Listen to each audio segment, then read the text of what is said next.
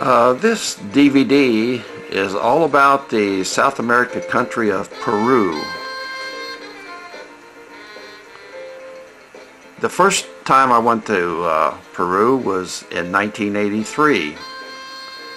I was re representing the uh, company Braniff Aviation Services at the time. I was representing Braniff as a 727-100 expert. The sole purpose of the trip was to accomplish a pre-buy inspection on a Boeing 727-100 aircraft on behalf of a leasing company located in San Francisco, California. During the inspection, I found the uh, aircraft to be in a substandard mechanical condition. Especially noticeable was some heavy corrosion on the center wing aft upper spar, which would have grounded the airplane in the United States. I reported this condition to the airline maintenance manager, and my recollection is he was amazed that I was even able to see this spar corrosion, but he took no corrective action to repair it because I saw the same airplane loading passengers on the flight line the very next day. My recommendation to the leasing company in San Francisco was uh, not to purchase the airplane, and if they did, to buy it real cheap because they would have had to put hundreds of thousands of maintenance dollars in it to bring it up to the US FAA standards. This was strictly a business trip with no time for sightseeing or to shop for souvenirs. But there would be other trips to Lima which I'll discuss following this one.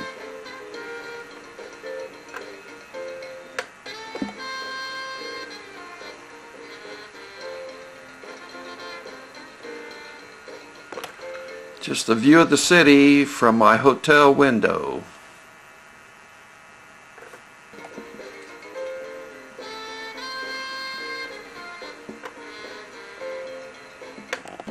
Faucett Airline hangar is in the background. This was in the back of the Faucett Airline hangar. First time I ever saw a bidet in a bathroom.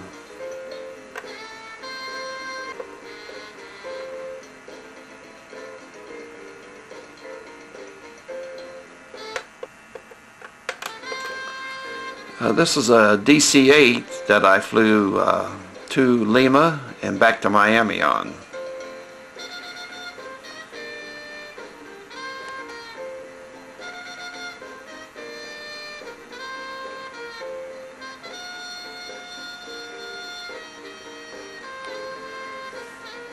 This is the uh, total number of pictures taken during that short first trip to Lima, Peru.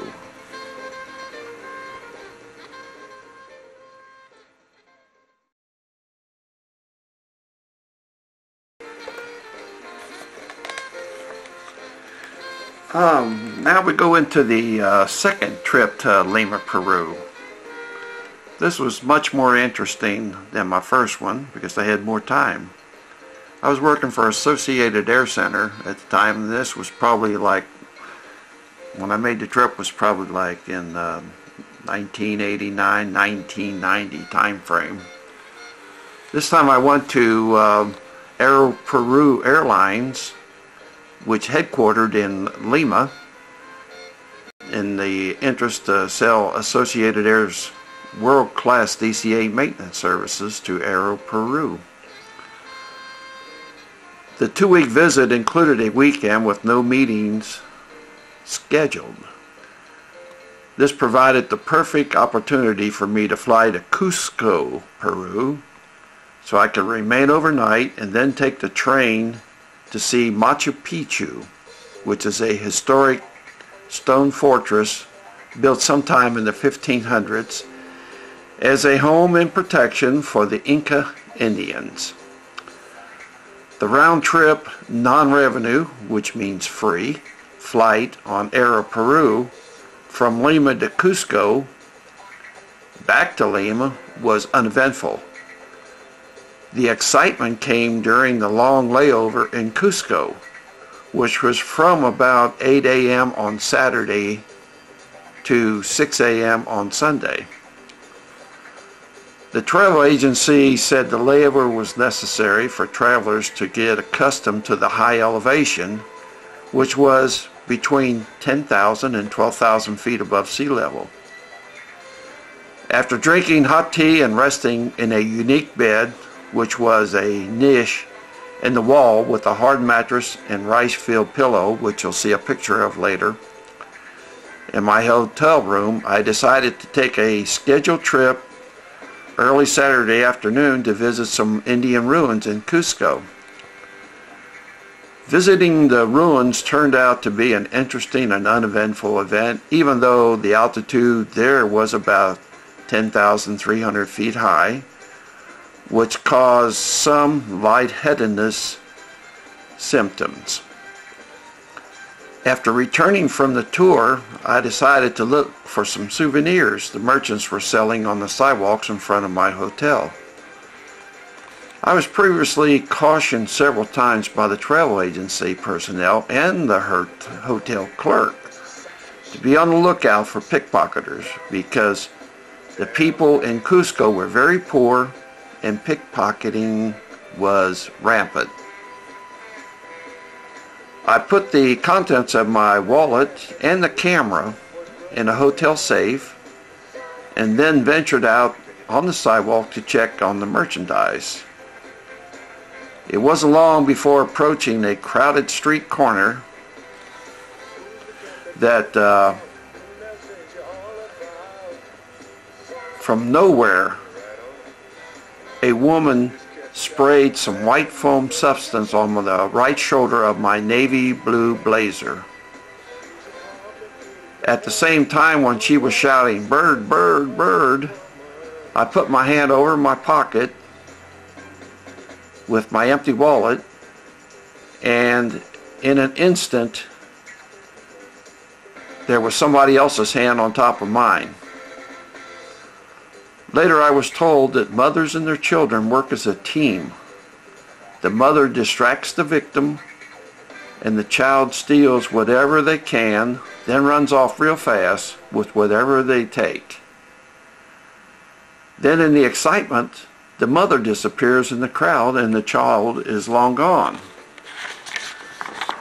An elderly Peruvian gentleman wiped the foam off my blazer and appeared to apologize in his native language for the attempted pickpocket. I immediately went back to the hotel and after explaining what had happened, the clerk had my blazer dry cleaned and also apologized for the unfortunate event. The travel agency tour bus came to the hotel early Sunday morning as scheduled and drove me to the railroad station for the four hour train ride to Machu Picchu. Seeing this historic place was certainly worth all the discomfort and anxiety I experienced to get there. What you see there is the uh, 727-100 from Aeroperu that I flew from Lima to Cusco and then return back to Lima on.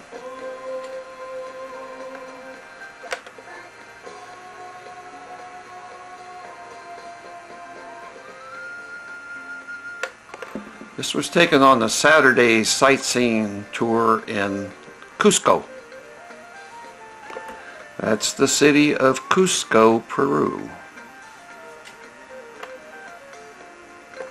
The llamas are the uh, favorite animal in Peru. That's me with a couple of Peruvians and a couple of llamas.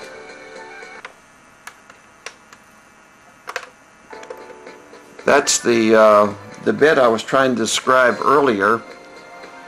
it's just a very it's it's really in the it's a niche in the wall and the mattress is very hard and the pillow I think was made out of uh, rice.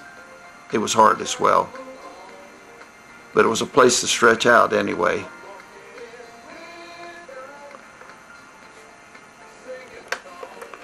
This is what you see when you uh, first come into Cusco. It's a typical scene plus uh, there's some kind of markings on that mountain in the background there.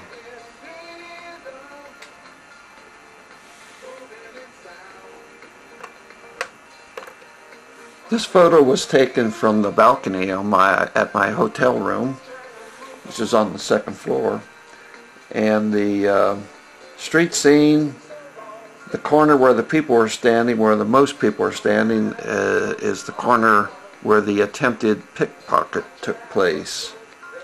The merchants were selling their souvenirs and things right there against each building.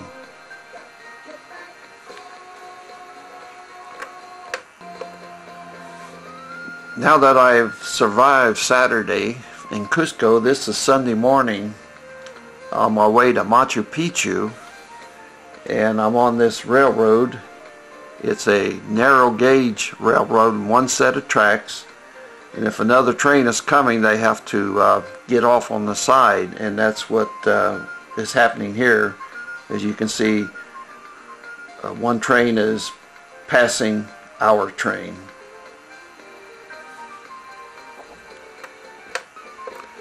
we made several stops uh, on the train on our way to Machu Picchu, which is only 50 miles from Cusco. It took four hours to do it. And uh, every time the train was stopped, there would be Peruvians selling their wares, either things that they made themselves or food or whatever. You see a lot of this um, in the higher elevations in the Andes Mountains in Peru. We're getting closer to uh, Machu Picchu, which is probably like 12,000 feet high.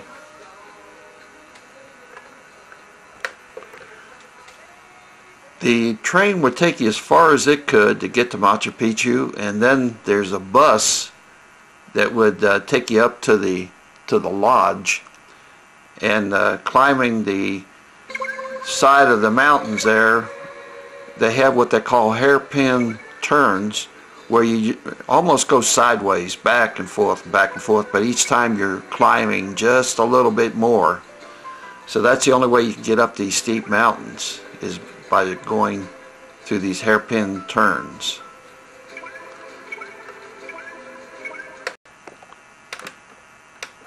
The lodge at uh, Machu Picchu. Now the next few pictures will be just of the uh, Machu Picchu grounds, you might say. It's perched in so high that when the Spanish conquistadors were taking over the area, they missed it in the 1800s. And uh, this ruined Inca Indian City once was home to about a thousand residents and it was rediscovered in 1911 by a Yale archaeologist by the name of Hiram Bingham. Today you can see the remains of the palaces, the baths, the temples, and some of the 150 homes that were there when the Inca Indians live there.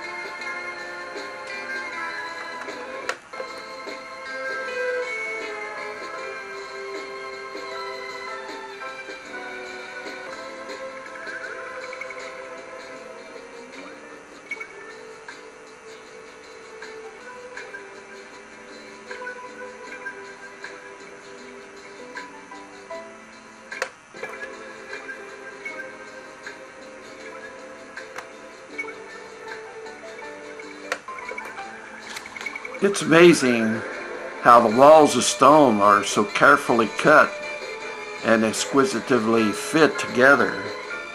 Way back in the 15th century, 1500th century, when all this was built.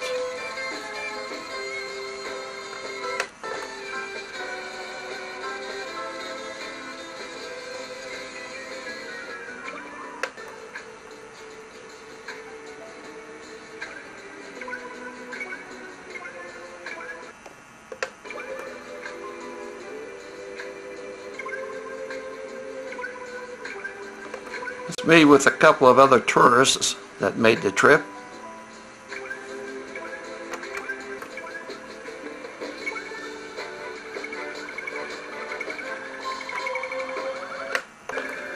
We had climbed up pretty high when this picture was taken.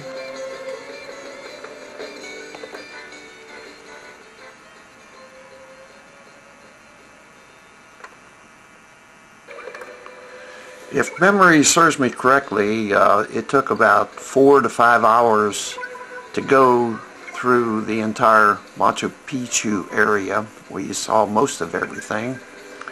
And then this bus would take us back down the hill to the end of the railroad line. But this time we were, the, uh, the tour package consisted of taking a bus back to Cusco instead of the railroad, which was nice because the bus uh, ride was only about one hour long. So uh, got back to Cusco early Sunday evening, slept in that uh, nice uncomfortable bed Sunday night, was picked up by the uh, tour bus Monday morning, taken back out to the airport, and then flew back from Cusco back to Lima, Peru, uh, about midday Monday. All in all, it was a very exciting, interesting, and uh, pretty much enjoyable weekend.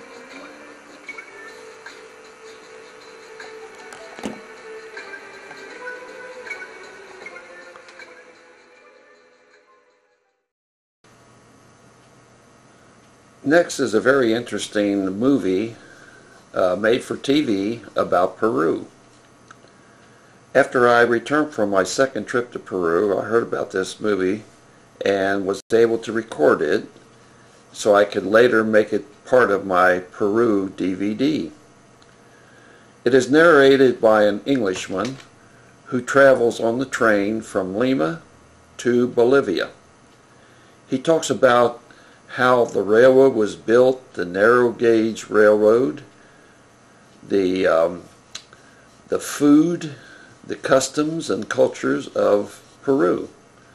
I experienced a little of the same on my train trip from Cusco to Machu Picchu.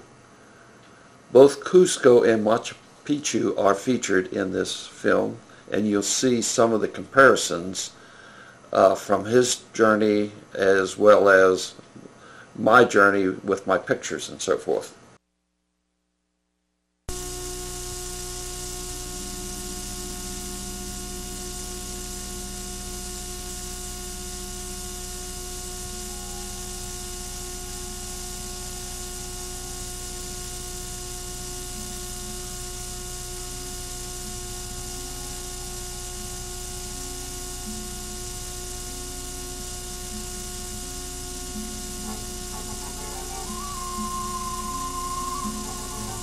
The mist lies heavy on Lima for nine months of the year, a depressing, dead, grey onshore mist. Not a morning mist, but an all-day blanket.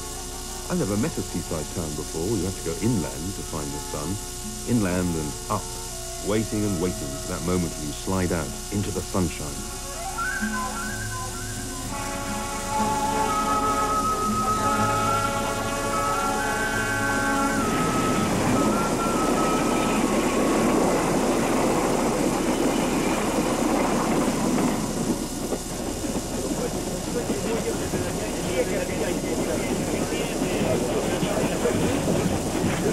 Destination, 200 miles away, is Huancayo, in the heart of the Andes. It takes nearly 10 hours at an average speed of 23 miles an hour, and yet the cost of a ticket is just two pounds. 10 hours is a long time, so people eat or read the time away or just stare out of the window at the same old Andes as usual.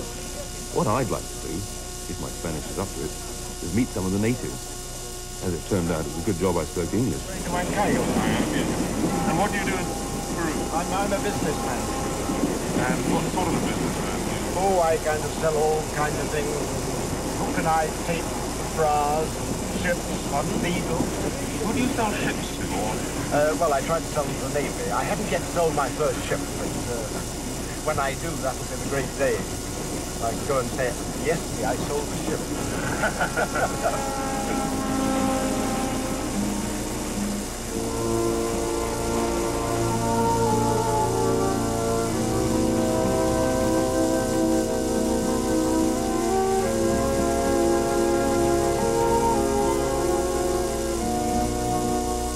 Finally, the mist of Lima begins to thin, and ahead we can just see the outline of the distant Andes.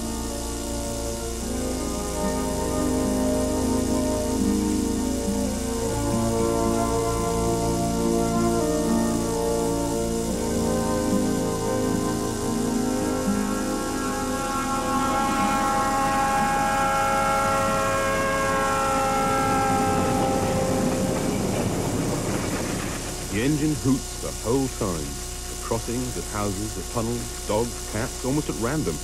This is because on Peruvian railways there's no such thing as a trespasser. The locals use the track as their very own private path.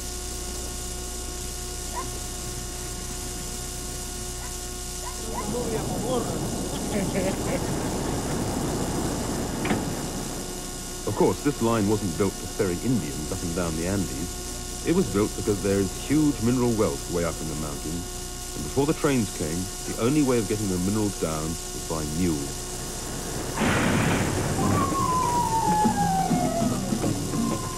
The mines still rely absolutely on the railway. In fact, the railway wouldn't even carry ordinary, unprofitable people if the government didn't insist on having one passenger train a day.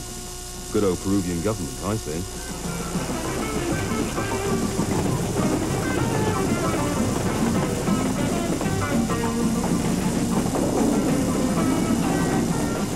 The men who built this railway must have felt sometimes they were exploring a new and hostile planet. They had to survey 20 or more miles ahead of the work in case they were heading up a blind valley. And some bits were so inaccessible that engineers had to be lowered on a rope down the cliff face to spy out the land. It was the only way they could get a look at the possible line of progress.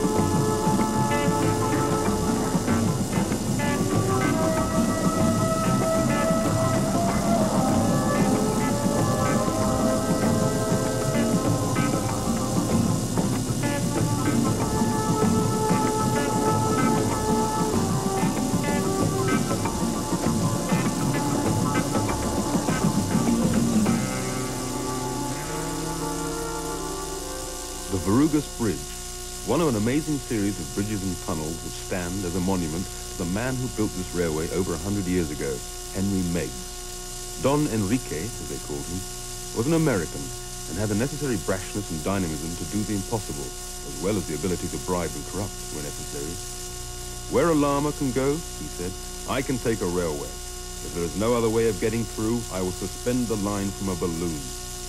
He didn't need balloons, as it happened. What he did need was 66 tunnels, 61 bridges, and millions of tons of explosives. To make it harder, the men who built the railway were constantly being struck down by disease. Over 2,000 of them died. They were a mixed bunch, tough desperados from Chile, ex-slaves from Africa, cheap Chinese labor. And they were constantly battling against floods, landslides, earthquakes, and shortage of money. But the railway always bounced back. There was, after all, no other way of getting to the top. The grade from top to bottom is over 6%, but they couldn't take trains up a slope of more than 4%. The solution? Zigzags, an old Inca idea for getting up hills. Whenever the line came to somewhere too steep, they simply gained height by going backwards, then forwards again. It was primitive, and it slowed trains down, but it worked. It still works today. It may seem strange to sit in a train and suddenly find yourself going backwards, but it's nice to know that in a moment you'll be going forward again, a few hundred feet above this exact spot.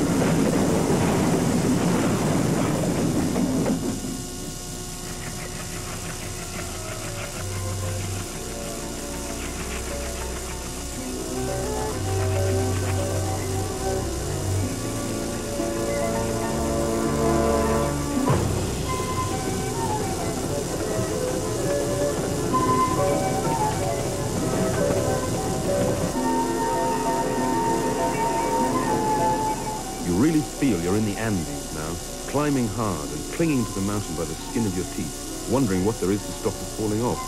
Occasionally trains do fall off onto the rocks below. More often it's rocks that fall onto the train. But today you feel the Andes are for once on our side, willing us to get to the top.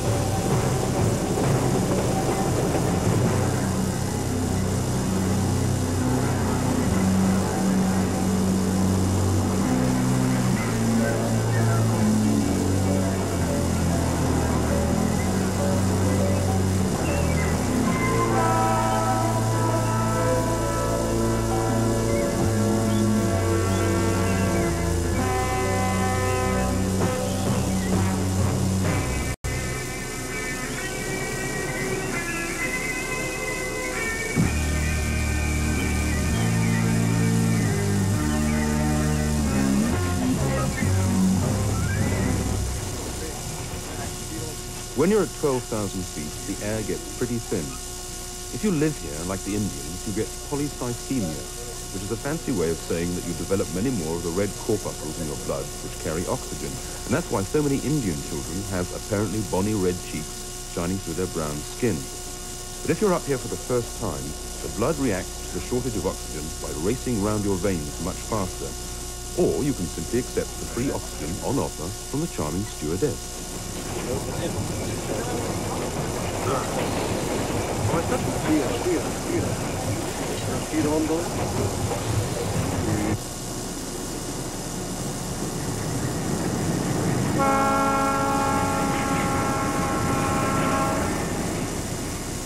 Trains need oxygen too. A few years ago, this line was all steam, 1,300 horsepower engines, but they were replaced one day by diesel engines of the same power. Progress. Only thing was that the new diesels couldn't get up the mountain. Nobody could make out why until it was realized the diesel process needs more air. So they had to buy more diesels of 3,000 horsepower to replace steam engines of 1,300. That's progress?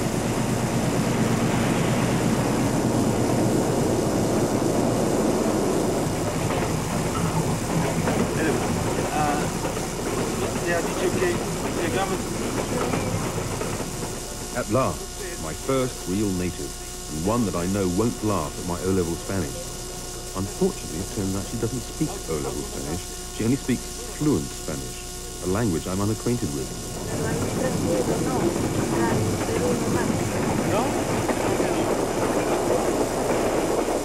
Very near the top now, and people are getting so excited that they're reading the paper, scratching themselves, or simply fast asleep with the thrill of it all.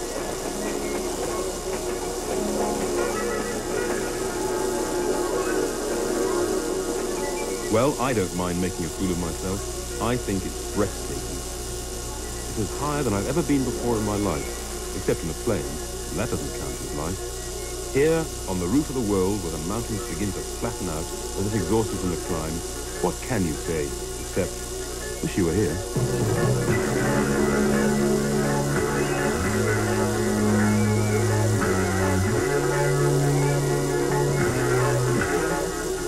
Highest passenger railway in the world, three miles high, four Ben Nevises. Most helicopters couldn't even get up here. It's almost too high to take in. And just over the top at La Oroya, the highest chimney in the world, belching the smoke of mining and smelting into the pure Andean air. And for a third world record, the world's highest polluted river, the Mantaro. Any fish born in this river would have a life expectancy of about 10 seconds. It takes Peru's industrial waste and sends it slowly down to the jungle, brown, dead, disgusting presents from the Peruvians to the Brazilians. A wicked fairy portended the birth of the baby river Amazon.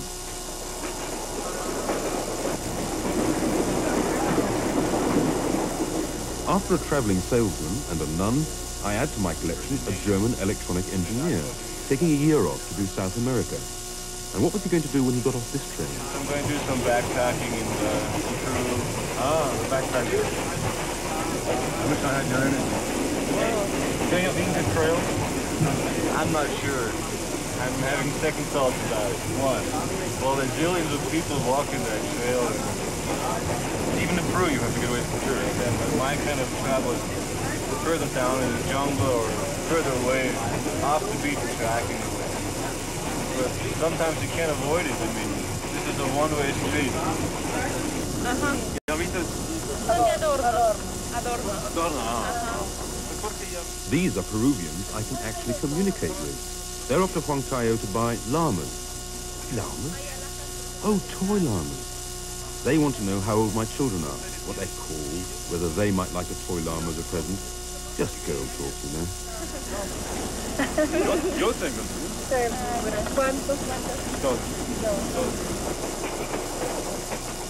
sun is going down now, and so are we, down to Huancayo, through valleys of maize and eucalyptus trees.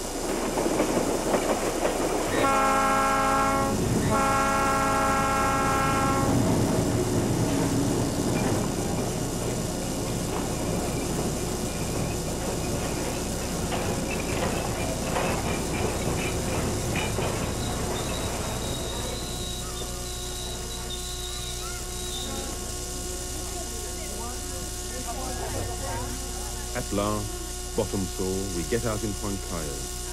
The English local brochure says, mysteriously, the town has almost 12 good hotels. And they've all sent touts, it seems. If you want, uh, you can go to our office. It's on Real Street. No, it's very comfortable. the place. I want to go to Ayacucho, but how long did it take to go to Ayacucho? yeah, the, the trip, water? uh, 12, 12 hours. hours. Oh, yeah, long. yeah. Agua caliente a cualquier hora. Puede. Chao. If you want, we have a bus to to uh, the tourist hotel. too. I think I'll, I'll walk.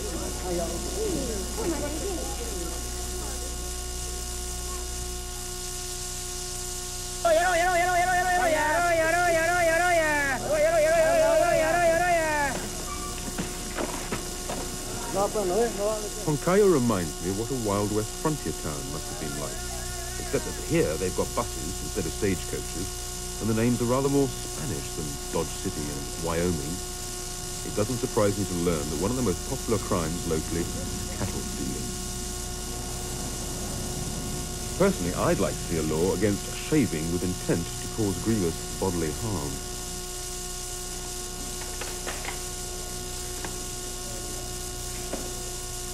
I'm trying not to give anything away in my expressions, but this man is no threat to Vidal Sassoon.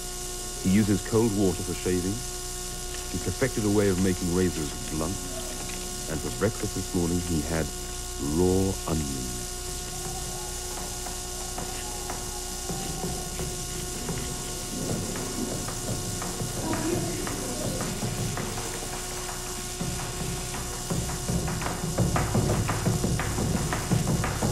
All I need now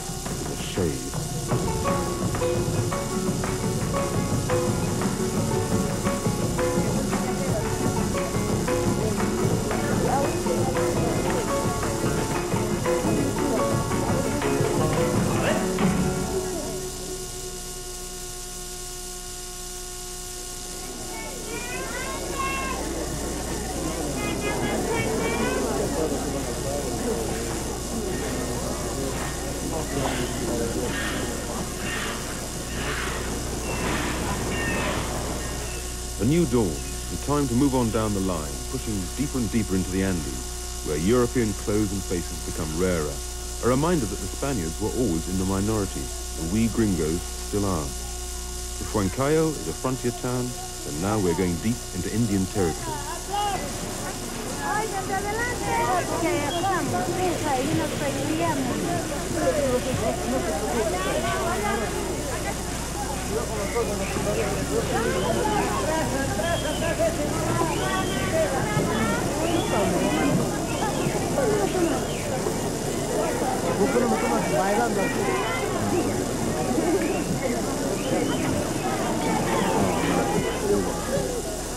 Through all the smells, the smell of cooking, the smell of coffee, the unmistakable fragrance of 500 crowded Indians, comes one smell I haven't had in my nostrils for 15 years.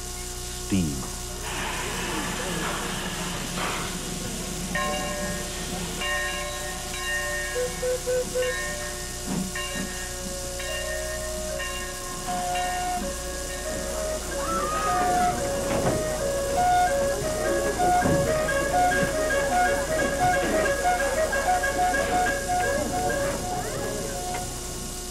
For a mere 80p, I've bought myself 10 hours of travel behind a British-built Hunslet 280 made way back in 1936. I'll be surprised if I get a seat now, but on this little train, it doesn't really matter.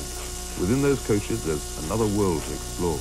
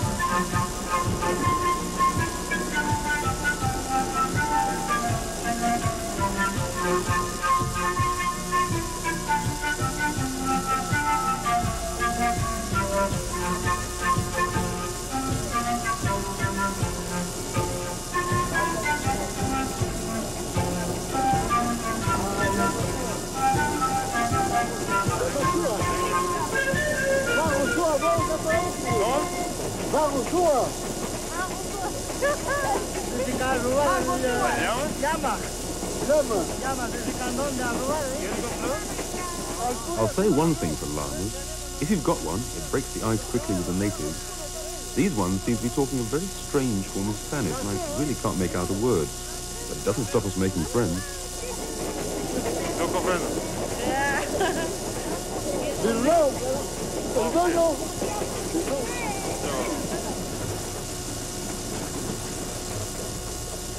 I've just realized that in English trains, the passengers perch gingerly in their seats, knowing they're not there for very long. But Peruvians settle down from the word go, as if installed in a new home. Paco, ¿es una palabra quechua? They're not talking Spanish at all. They're talking Quechua, the language left behind by the Incas. Se llama castellana. Vaca, Vaca. vaca.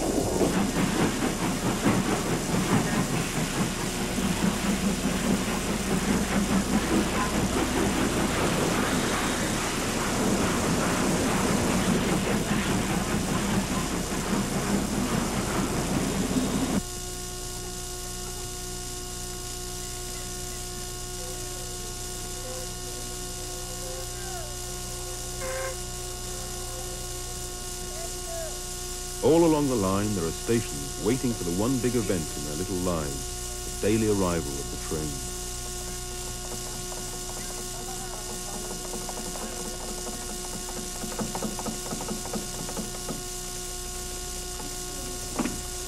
Aló, Huancavelica. Ah, recibo un telegrama. Señoría fecha 36, señor jefe de estación, Huancavelica.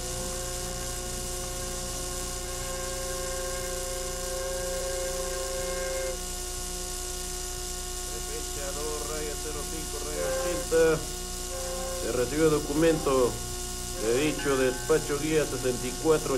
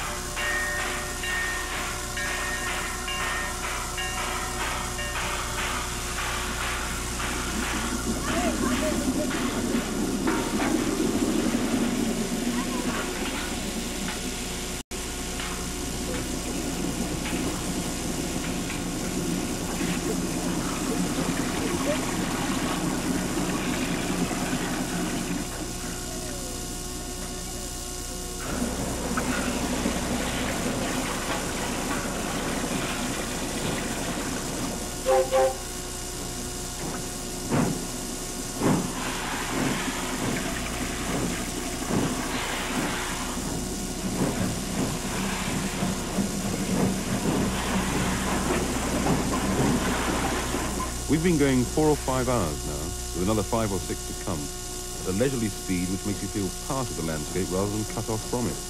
For an Englishman, it's a rare treat to stand outside on a train without feeling an imminent danger of death.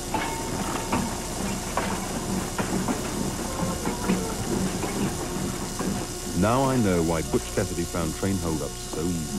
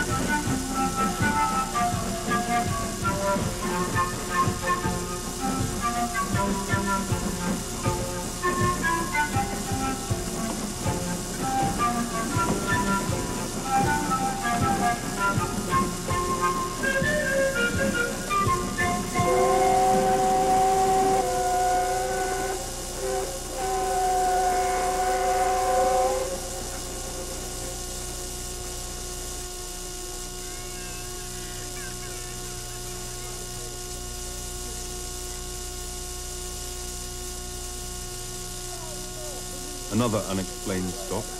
Well, all stops are unexplained in Peru. People just wait around till things start happening again. What's happening now is that they're taking our engine away. No, they're not. They're just changing it. Thank God for that.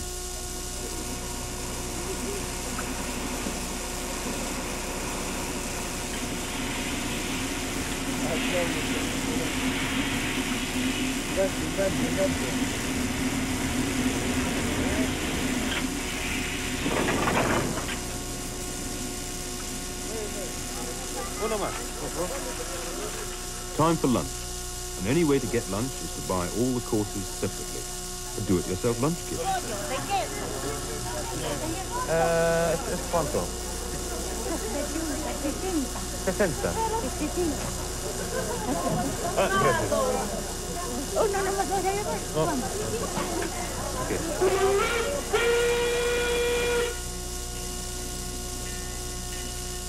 This engine is a Baldwin, made in Philadelphia, USA in 1920. 1920 is the year this narrow gauge line was built. And that means that the engine pulling us today was pulling trains the very day the line opened.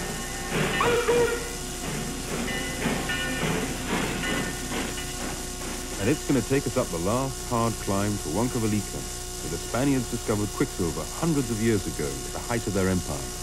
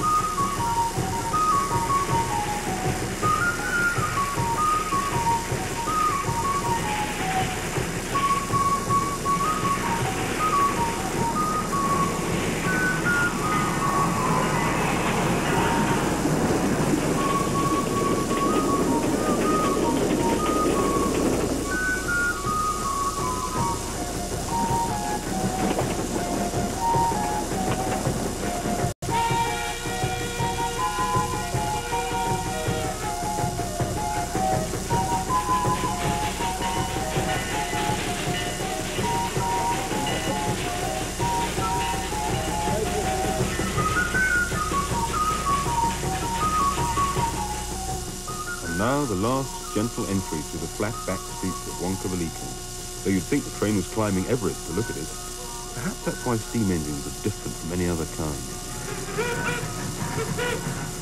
They're all ham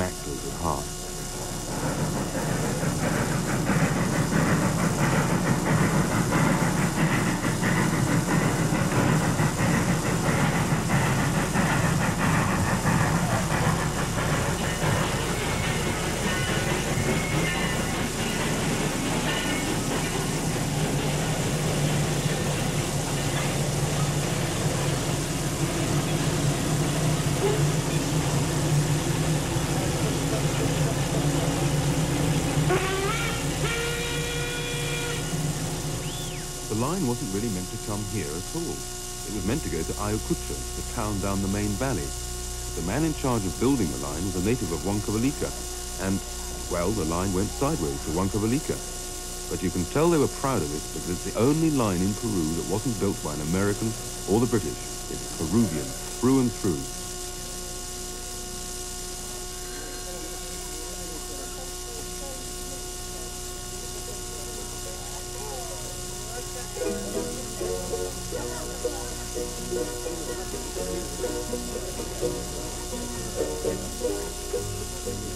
Come to the firm decision that I like the Peruvians. For one thing, they're so relaxed. But here, things seem too relaxed. Nothing's happening at all in Huancavelica. Even mañana seems to be a dirty word. Who wants to do anything tomorrow? There'll be plenty of time.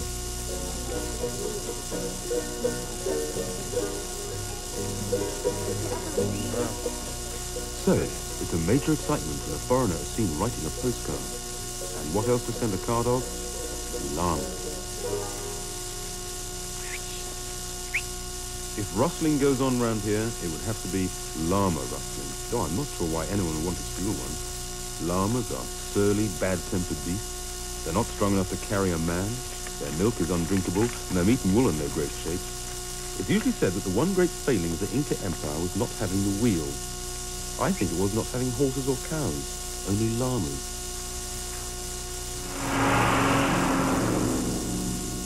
Railway stops at Huancavelica. From here, it's a three-day bus journey across some of the most exciting, that is, some of the worst roads in Peru, to the beginning of the Southern Railway and the famous city at its railhead.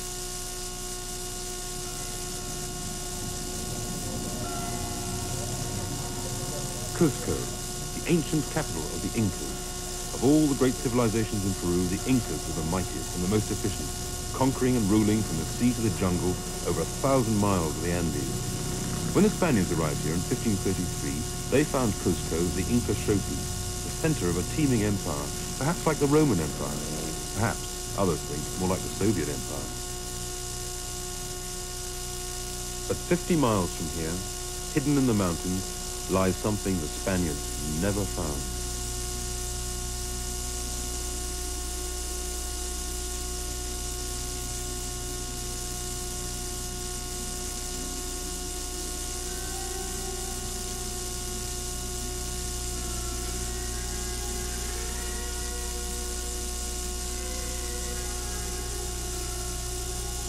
Machu Picchu, the forgotten city of the Incas.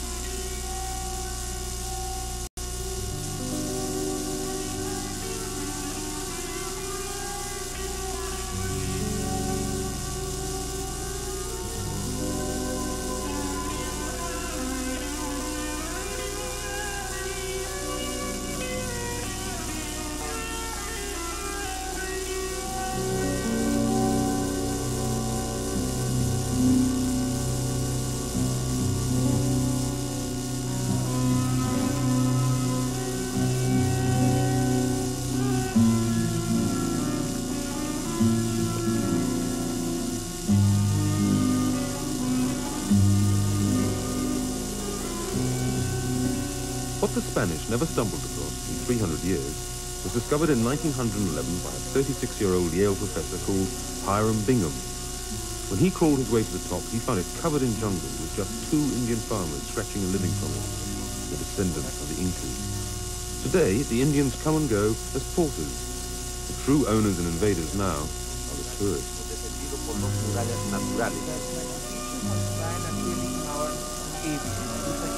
Y justamente vamos a tener la oportunidad de ver que por este lado, en la parte inferior, está el río, una muralla de defensa.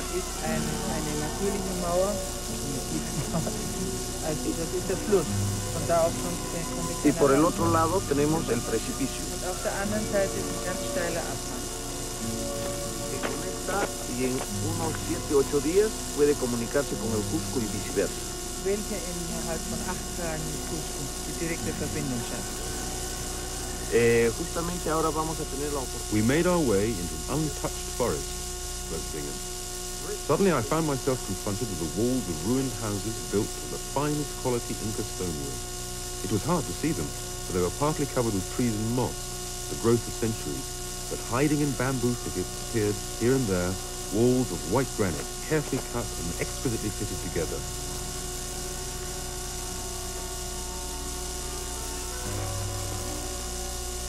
Dimly, I began to realize that these walls and temples were as fine as the finest stonework in the world.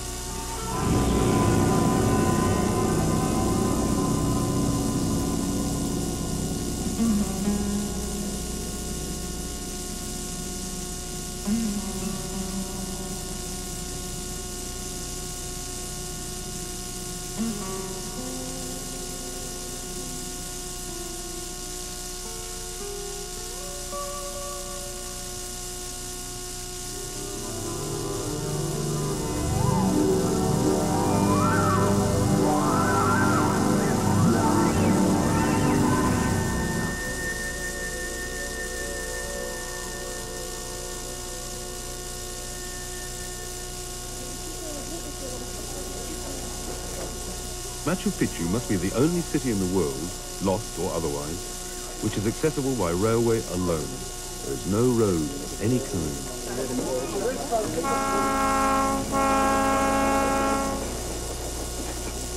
But to get here at all, even for tourists, is an achievement.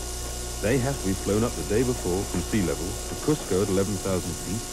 They get a few hours to adjust to altitude, then a lightning tour of Cusco, up at crack of dawn the next day to catch the early train for a three-hour journey, round Machu Picchu for the experience of a lifetime, then back into the train again. You'd get the same feeling going on an outing to Westminster Abbey, if Westminster Abbey were on the top of Snowdon.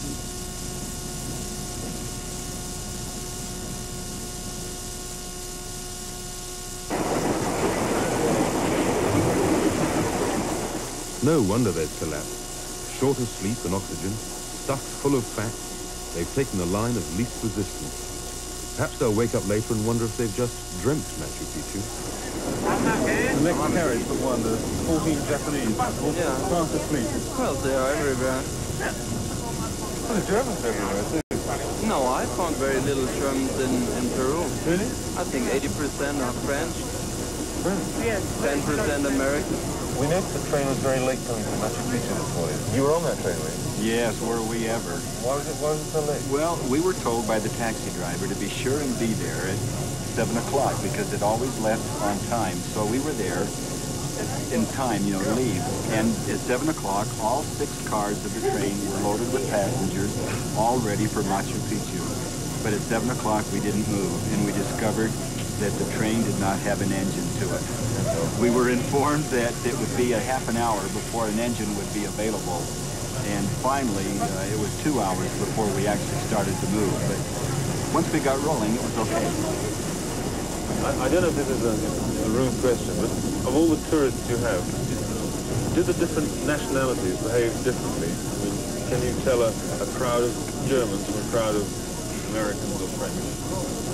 You know, English-speaking people have a special characteristic. They listen. They listen. But who doesn't listen? Spanish-speaking people normally don't listen much.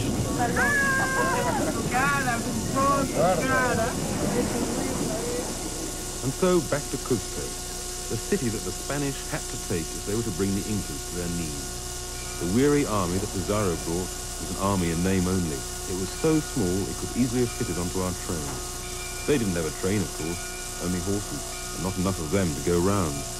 On the other hand, Pizarro's army never had to do Machu Picchu and back in the same day.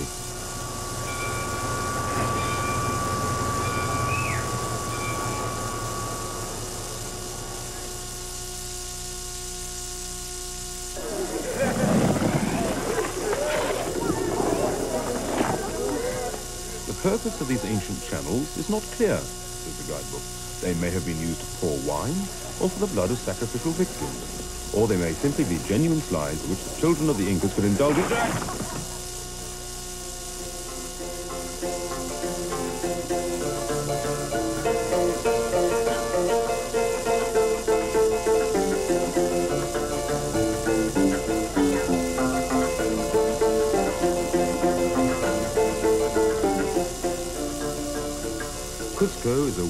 wonderful mixture of European and native. The top half of many buildings is Spanish. The bottom half is ancient Inca stonework. The top half of their lives may be Roman Catholic, but deep down they still run the old belief. And many of the Catholic feasts are only disguised Indian festivals. Even the local cinema was unwittingly built by the Incas. Some of the most popular films there are not Western at all, but Chinese and Indian, as if the locals have some folk memory of their Asian origins. And what can they have made of the most famous Western folk hero of all, the god who was imported to replace all their old familiar gods?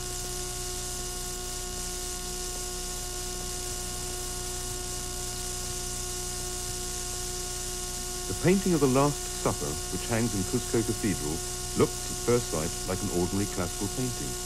But look closer. There's something very unfamiliar about the main dish of the evening.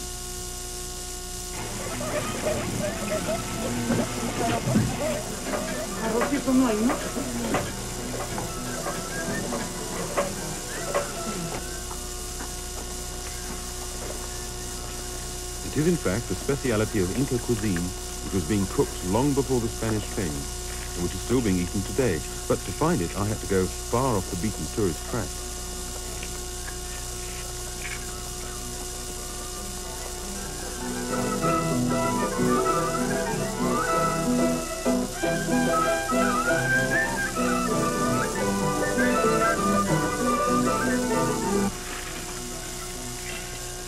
The dish of the day for some people is pork and corn. For others, it's a chunk off the Sunday joint. But my main course is still running around on the floor of the kitchen where it's lived all its life. The animal that the Incas considered such a delicacy was the humble guinea pig. Hmm.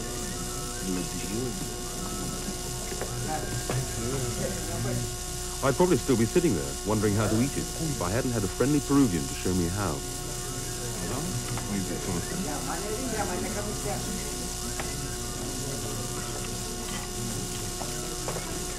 Hmm.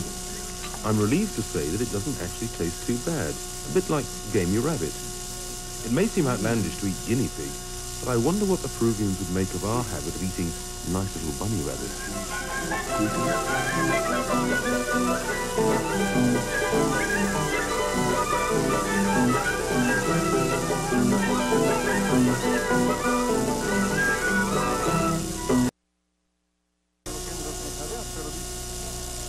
Well, everyone's worst fears have been justified. The military have taken over. The workers have hit back with a call for a general strike. Sooner or later, the two sides are going to come to blows, and we're stuck in a one-horse town called Biacha.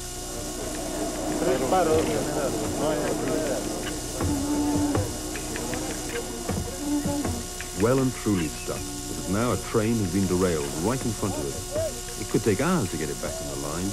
We have to sit here waiting, and waiting for something to happen. And if so, what?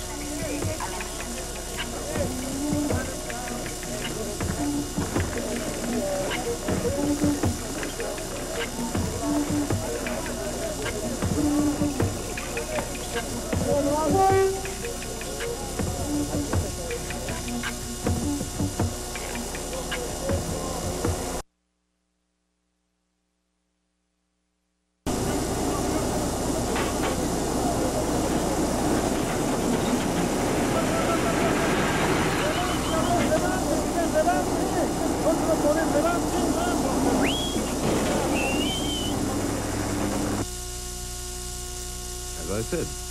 Knew about South America when I got here was to look out for revolutions.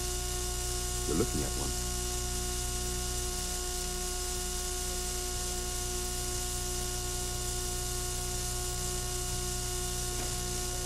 Inside that rail car, there are 12 French tourists debating what to do next. They've just voted to stay put till they're rescued. But rescued by who?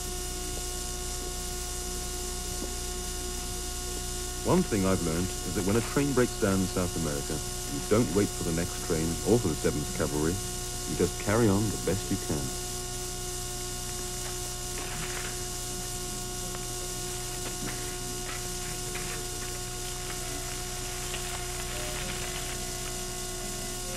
Only 20 miles to La Paz, though it seems like 200. I just keep telling myself that La Paz in Spanish means Well, that's the end of the videos of Peru.